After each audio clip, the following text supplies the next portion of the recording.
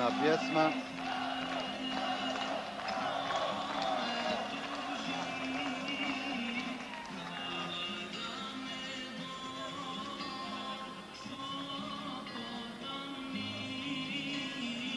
Dakle, u plavom uglu Adnan Ređović, Bosna i Hercegovina.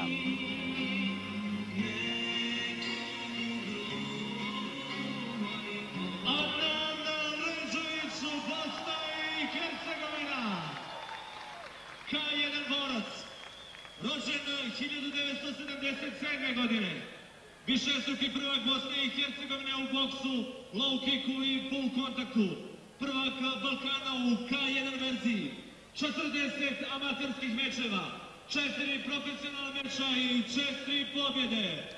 Pozdravimo našeg Adnana Režovića!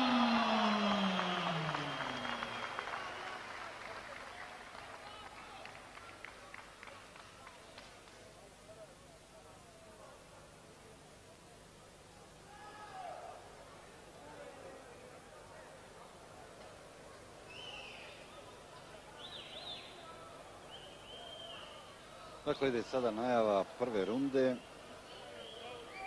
Borbe boraca preko 91 kg. Aleksandar Stojkovski, Makedonija, Adnan Ređović, Bosna i Hercegovina. To je dakle posljednja borba, da tako kažemo, uvodnog programa. A onda nakon toga glavni meč večeri Denis Raš, Mađarska, Salko Zilđić, Bosna i Hercegovina.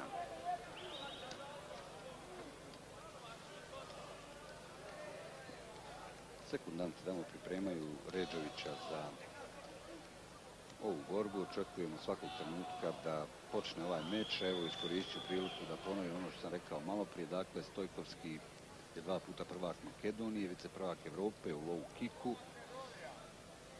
Radio je do sada meč za profesionalnog prvaka u ovako pro verziji i izgubio od aktualnog prvaka Ivice Tekića. Na drugoj strani Adnan Ređović iz Bosne i Hercegovine, K1 borac rođen 1977. godine, višestruki je prvak Bosne i Hercegovine u boksu, low kicku i full kontaktu, prvak je i Balkana u K1 verziji, imao je 40 amaterskih mečeva, četiri profesionalna i u sva četiri ostvario četiri pobjede. Evo vidjet ćemo kako će se završiti ova borba u kojoj za protivnika ima Aleksandra Stojkovskog iz Makedonije. Počela je prva runda.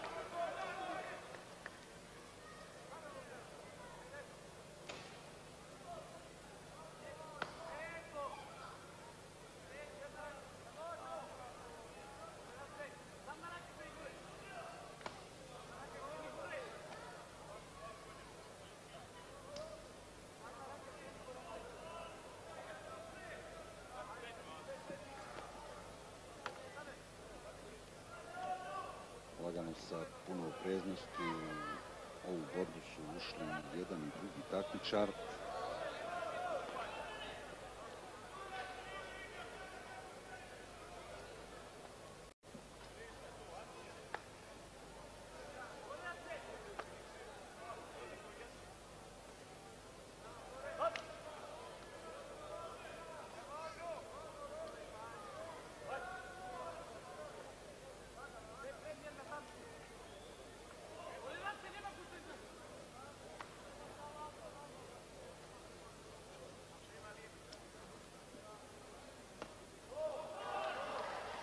Ređović borac sa crnim rukavicama, eto da tako kažem, ako ćete ga lakše prepoznati, mada ljubitelji borilačkih sportova u Bosni i Hercegovini poznaje ovog borca, sada nakon onog početnog ispitivanja, mini serija Adnana Ređovića.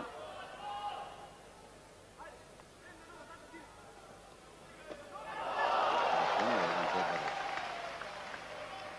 udarac nogom Ređovića. I kao da je prošlo ono uvodno zagrijavanje, evo vidite nešto agilniji jedan i drugi borac u nastavku ove prve runde.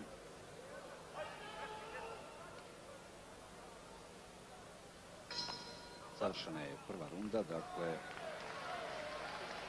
bokseri preko 91 kg, Aleksandar Stojkovski Makedonija, Adnan Ređović Bosna i Hercegovina. Nismo puno vidjeli po strane jednog i drugog takmičara u ovoj prvoj rundi, ali eto kao da je ona poslužila i Ređoviću i Stojkovskom da se na neki način malo zagriju i da se pripreme možda za žustriju borbu u nastavku, a ja ću ovu pauzu pred početak druge runde iskoristiti da kažem još jednom da je u prvoj borbi, dakle borbi do 60 kg, takmičari do 60 kg, Vahidin Tufekčić jednoglasnom odlukom sudija savladao, jednoglasnom odlukom 3-0 savladao Vinka Dirlića iz Hrvatske. U borbi do 63 kg Eldin Raunić iz Bosne i Hercegovine također jednoglasno je savladao Mileta Ristevskog iz Makedonije. Nakon toga jednoglasno Emir Terahija Bosna i Hercegovina je savladao Dejana Mađarevića iz Slovenije, dakle borci do 71 kg. Almedin Hasanagić Bosna i Hercegovina u drugoj rundi je nokautom, dakle prekidom savladao Tonija Galića i to je do sada jedina borba koja je završena prije onog zvaničnog istekla. Dakle, nije bilo potrebe za odlukom sudija. Nakon toga takmičari preko 91 kg, Samer Mehić je jednoglasnom odlukom sudija 3-0 savladao Dženana Muminovića iz Sarajeva. I evo sada gledamo borbu, dakle, drugu rundu borbe Aleksandar Stojkovski Makedonija koji ima crvene rukavice, Adnan Ređović Bosna i Hercegovina sa crnim rukavicama.